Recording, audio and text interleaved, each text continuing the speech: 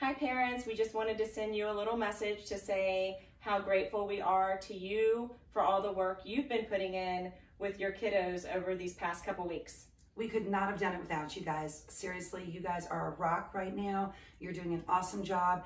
Not only are we proud of our kiddos, but we're proud of you. We thank you so much with our whole hearts. We owe you guys. We appreciate everything you're doing, but unfortunately, parents, Tag, you're it. tag. Love you.